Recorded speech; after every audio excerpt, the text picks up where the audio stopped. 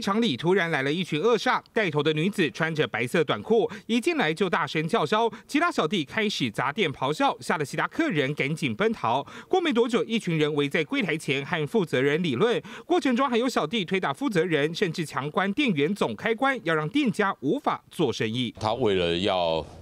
向这个被害人呢索取这个这一一些不法所得呢，他就纠众前往。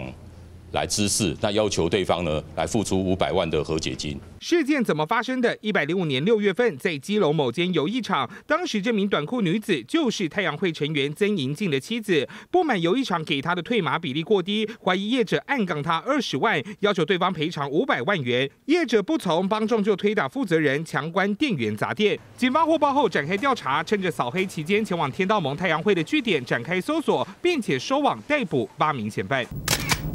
脸书上一张张照片看得出曾银静和老婆的好感情，甚至还带着女儿一起拍全家福。今年四十四岁的曾银静，绰号太保，是太阳会一代虎的成员，还是领导的虎头，行事相当凶残，还在二零零二年率众砸毁一周刊总部。这回爱妻心切的他，率众替妻子出头，成为扫黑头号目标，但违法行为恐怕又得入监，和爱妻分隔两地。记者江明刘世伟台北报道。